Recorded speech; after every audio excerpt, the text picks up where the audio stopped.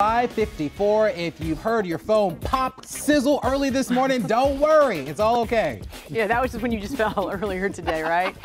No, because that was just the internet exploding. Thanks to Beyonce, Tommy McFly in the 94.7 Fresh FM studios with the latest.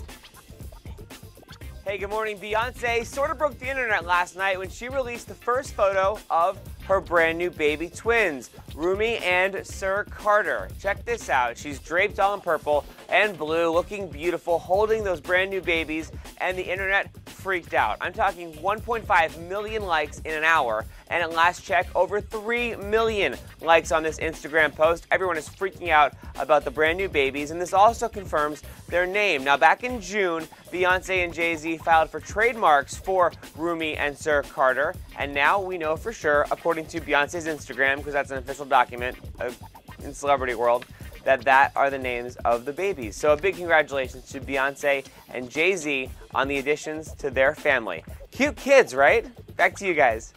We also Yeah, just really confirmed it was a boy and a girl because remember they were holding the balloons, the, Right. somebody going into the uh, Uh, hospital. I, think it was dad. It might have been dad Mm-hmm. or mom. It was one of the two. So, congratulations to Beyonce and Jay Z. All right, 556.